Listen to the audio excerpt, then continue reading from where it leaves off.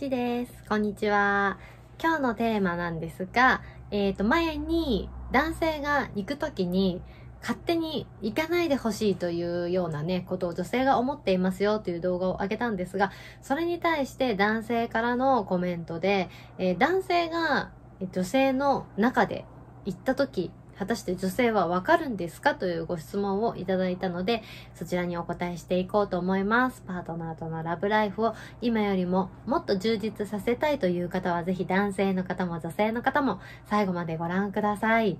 さて、男性が中で行った時、行く、ん？行った時 行ったのがわかるかどうかというお話なんですけども、そうだね。えっ、と、まず、その、どうして女性が、えー行くときね、男性が行くときに行ってほしいのかっていうところからお話ししようと思います。だってさ、ね、あの、勝手に行かれたらさ、挿入中の話ね、これ。挿入中に、ね、あの、女性が、ああ、もうすごく気持ちいいな、一つになれて嬉しいな、とかさ、思ってる時にですよ。ね、そうやって思っている時に、パートナーの男性が、なんか突然、ふーってなって、なんか果てた、果て終わった、みたいになった時の、その女性の気持ちってさ、え、行っちゃったの？っていうことなんですよ。ね。だからさ、行くんだったら、やっぱり、なんか行っていい？って、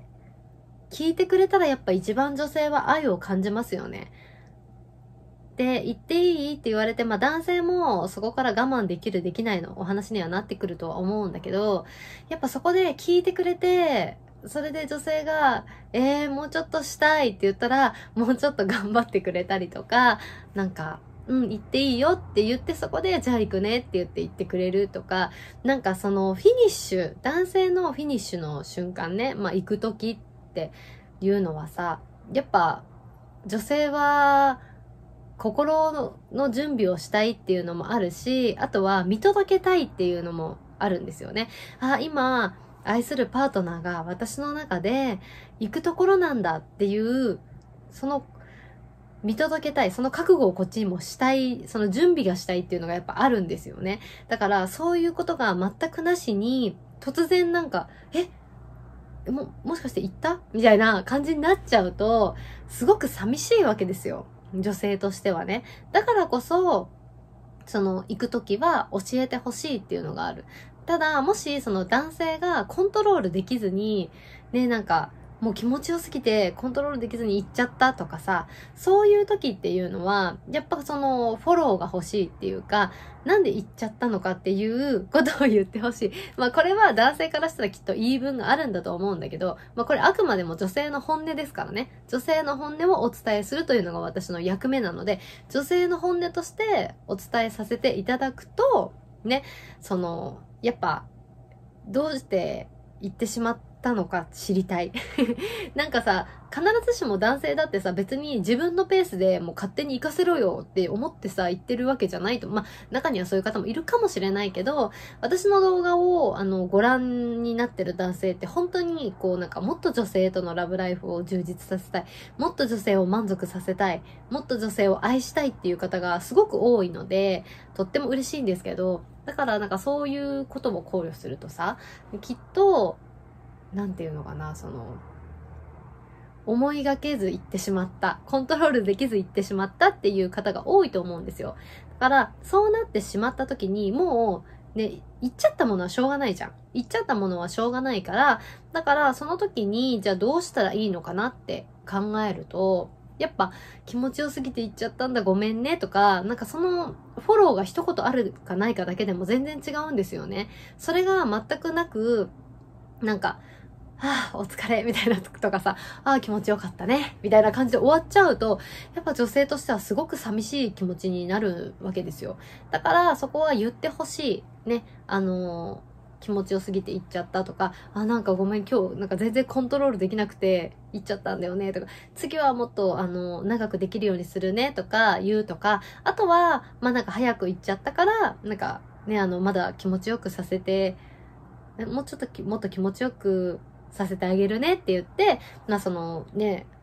自分が言ってしまった後でも女性に対してこう女性が気持ちよくなれることをしてあげるとかさなんかその後のフォローも大事なんじゃないかなって思いますね。なんか最近ね、あの、クラブハウスとかでも、こう、いろんな男性や女性とお話ししてて、こう、確かにそうだよなって私ももう日々勉強でいろんなことを学ばせていただいてるんですけど、なんか、その、やっぱ、男性が言って終わりっていうセックスがほとんどだと思うんですよね。私もなんかセックスってそういうものっていうのがもしかしたらどこかであったかもしれないなって思ってるんだけど、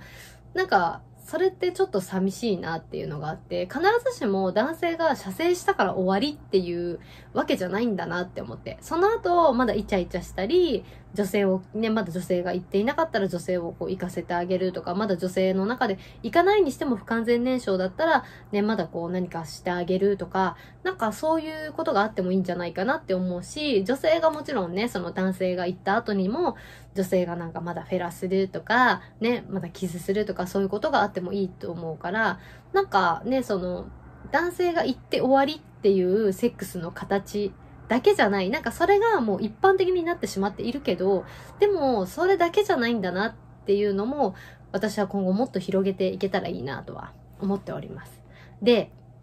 男性が言った時にわかるのかどうかというお話になるんですが、これはね、私はね、人によると思う。で、あの、人によるっていうのは、女性がどれだけその、膣内が敏感かっていうのにもよるんだけど、男性のその射精の勢いにもよるんだよね。男性ですごい勢いよくもうビュッビュって出る人は、本当にわかるんですよ。あの、ゴムをしてても、その、ゴムの中でその精液がビュッビュって出てるっていうのがわかるぐらい勢いがいい場合とかそういう男性の場合はわかりやすいけど、男性がさ、その射精する時っていうのもさ、もう日によって違ったりもするだろうし、人によって違ったりもすると思うんだけど、そのビュッビュって出る方もいれば、もうなんかじわーって出る方もいるじゃないですか。だからそれによって分かったり分からなかったりっていうのもあるから、なんか、これはね、本当に人にもよるし、その時の男性のコンディションにもよるだろうし、まあ女性がどれだけそれをこう敏感に察知できるかにもよるから、だからね、わかるわからないっていうのは言い切れないんですけど、だから、まあ、わかる時っていうのは、まあ、女性がすごく敏感に感じ取れる時、そして男性がすごく勢いよく射精した時っていう、この条件が重なった時だとは思うんだけど、うん、だから、男性が言った時って女性わかるんですかっていうご質問に関しては、まあ、わからない人がほとんどだと思いますよね。なんかそういういろんな条件が重ならないといけないわけだから、わからない人がほとんどだとは思うんだけど、うん、でも、まあそういう条件が重なった時に、まあわかる。場合もあるということですね。まあ、今日は何だろうね、そのどうして勝手に言ってほしくないのかっていうお話がメインになってしまったんですけども、参考にしていただければと思います。えー、評価とチャンネル登録よろしくお願いします。えっ、ー、と、概要欄に私の SNS のリンクも貼ってありますので、ぜひ概要欄の方もご覧になって SNS フォローしていただけたら嬉しいです。最後までご覧いただきありがとうございました。